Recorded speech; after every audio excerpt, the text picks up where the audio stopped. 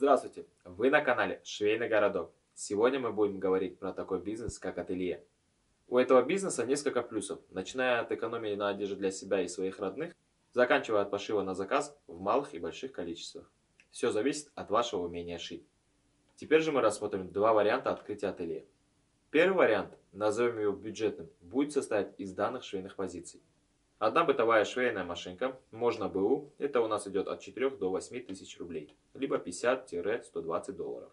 Желательно, чтобы у нее была такая операция, как петля, и неважно, автомат она или полуавтомат. Также один оверлок, можно китайский трехниточный, зеленый он такой идет, за 4000 рублей, 60 долларов. Либо БУ Джанаме четырехниточный за 8-9 тысяч рублей, это 120 долларов. Обычный домашний утюг почти у всех есть дома, его мы считать не будем ножницы от 300 рублей, мейл, мыло 10 а, штук, вот это 50 рублей, сантиметровая лента, это 20 рублей, иглы одна пачка для бытовой машины и одна для оверлока, это у нас в общем 250 рублей, булавки от 20 рублей, шпульки для той самой бытовой машинки 10 штук, но они по 10 рублей, нитки 10 штук, это 200 рублей разные цвета, линейка метровая или кала разные, в общем обойдутся нам 500 рублей, лапка для кожи 200 рублей, Лапка для молнии 200 рублей. Это все идут лапки для бытовой машинки. Двойная игла также для бытовой машинки, для замены распашивалки. Она будет стоить 100 рублей. Прибавим все минимальные цены, получается у нас 9990 рублей.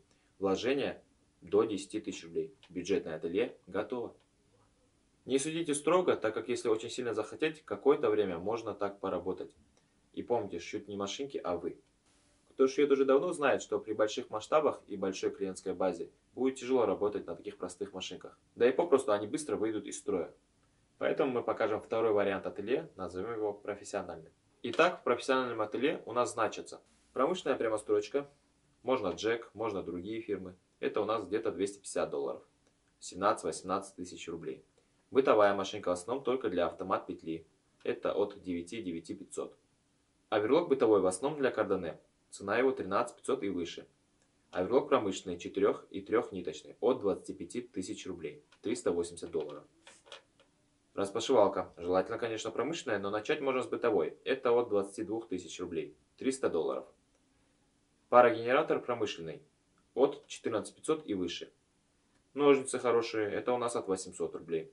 Шпульки 10 штук для промышленной машинки, это 200 рублей. Нитки черные и белые по 5 штук, это у нас по 400 рублей. С большой намоткой, конечно. Можно цветные, но это по мере работы. Метровая линейка, пластик или дерево, на ваш вкус, от 300 рублей. Иглы на машины 500 рублей разных размеров.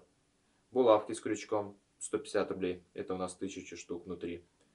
Лапка для кожи, лапка для молнии, лапка для потайной молнии 200 рублей. Это у нас идут на промышленную прямострочку. Сантиметровая лента 40 рублей, в ней числится 2 метра. Подкладочные ткани, клеевые материалы, ручные иглы, шкатулки и тому подобное можно купить отдельно, по желанию.